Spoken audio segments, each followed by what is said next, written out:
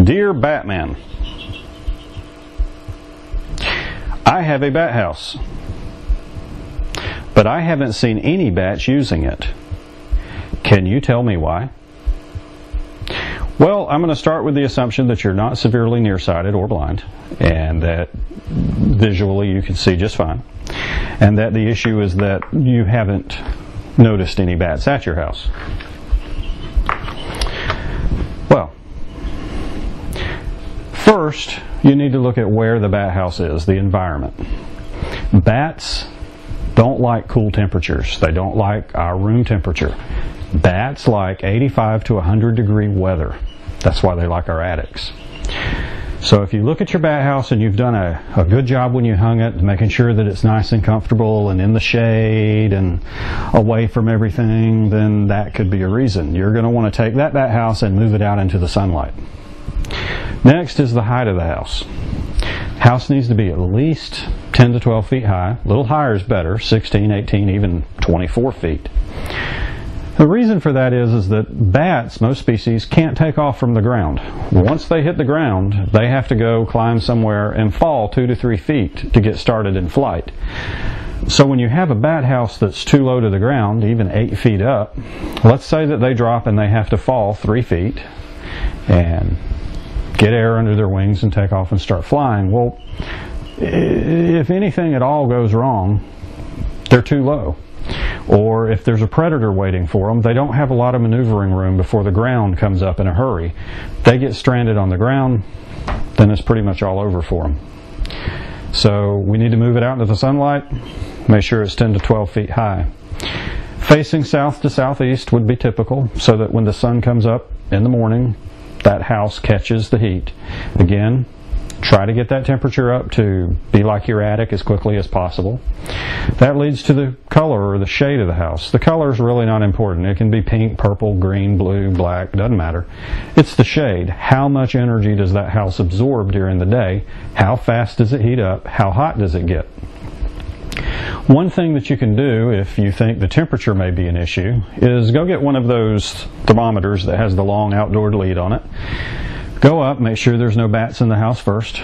Go up and put that lead up into the house. One way that you could do that is actually take a short stick, uh, tape it to the end of it, run it up into the house so that it's near the top, and then clamp it onto the landing board or staple it or something of that nature, and then run the lead down and get the head of the thermometer down so you can read it and see what the temperature is in the house. If you come out during the day and the temperature in that house in the middle of the day is 78 degrees and it's a nice sunny day, typical summer day, then your house isn't getting hot enough. You might darken the color of the house. If you come out and the temperature up there is 145 degrees, then the house is too hot. You need to lighten the color. You can paint it a shade of gray or white, something to match your house and get the temperature under control. So let's say we have the temperature right and that the house is high enough, and we're still not seeing bats in the house. We need to look at the location of the house, not just for the height, but what's around it. If you have it in a tree, or near a tree, or near overhangs, there may be hawks or owls waiting for the bats to come out of the house. And they don't like to be eaten. Um, but they're a natural part of the environment. Predators are there. So when the bats leave, they want a nice, big, clear, open space to leave and, and get maneuvering room. If there's a branch four feet away with a big owl sitting on it or a hawk sitting there waiting, then the bat doesn't stand a chance. And it won't take too many of their buddies getting eaten before the bats decide to move to a different neighborhood. So if you've cleared that up, the house is in the right place, there's no imminent predators around, uh, the temperature seems good on the house, the next thing to look at on the house is going to be just the construction of the house. Is it uh, tight, weather sealed? Is it leaking? Uh, what's the general condition of the house on the inside? Are the chambers sizes the correct size. You don't want them any more than about a one and a quarter inches. Three quarters of an inch chamber is about right. That seems to be the sweet spot. Um, then look inside the house. Has anything else taken up residence in the house? Down here in Georgia, we have what we call dirt daubers or mud daubers. They're basically a, a type of wasp that build these mud nests, and they can really close up anything, including bat houses, pretty quickly. So you're going to want to get rid of those. Um, might want to do it late in the evening, shine a light up in there, make sure there's no wasps. And if you have a larger chamber house, an inch, one inch chamber or larger, you may have wasps that have built up in there. You're going to want to get those out. Again, be very careful around wasps. Let someone else do it if you're allergic. Better yet, if you have a buddy that you, you know he's not allergic, you like to do things to, you know, really cause him some fun. Go out there with a video camera, take a long stick, tell him to clean it out, put it on YouTube but I didn't tell you to do that. But it might be a good laugh. You never know. Um, once you've done all that, really the only thing that you can do is just make sure that the house is right, the environment's right.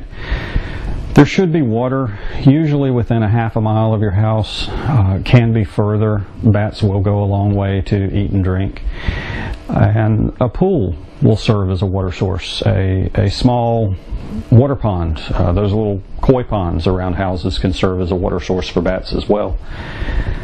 Once you've done all that, then you just have to pay attention. It's still possible that you do have bats using the house and you just don't know it. Your area may only have enough to support maybe a half a dozen bats. There may be five or six in there, and you may never notice that they're in there. One way to tell is to go look during the bright day. Take one of those real bright spotlights that deer hunters shouldn't be spotting deer with at night and shine it up in the house. Look up there and see if you see any uh, kind of dark lumps way up high in the house. Another thing to do is to look down on the ground, look for black specks. Um, that would be the guano that's falling out. If there's not a lot of bats, you may not see it.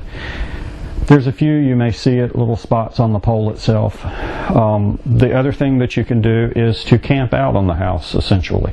Go outside, sit down, and wait. Now, you're going to have to start at about, depending on where you are, as, as early as maybe 5 o'clock in the evening, and watch it as time goes on, and you may see one or two bats leave the house that were in there during the day. You can also use an ultrasonic bat detector. Turn that on. Listen. If they're in there, you'll hear them start chirping. Um, the ultrasonic bat detector is also good to detect bats in your area at night. You can turn it on. We've got a video on this. If you'll uh, look on our channel, look for it. Bats echolocating. It, uh, you can actually hear the bats as they echolocate to search for their food. The moral is don't give up.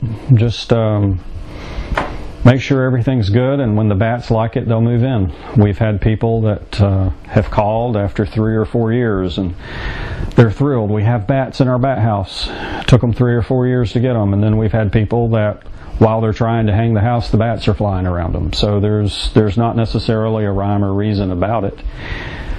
Keep up the persistence, make sure everything is good, and look at it as you're providing a roosting opportunity for the bats, and feel good about that. And we appreciate uh, your support. We appreciate the questions. Keep them coming. If you've got any more, let me know. Have a good day.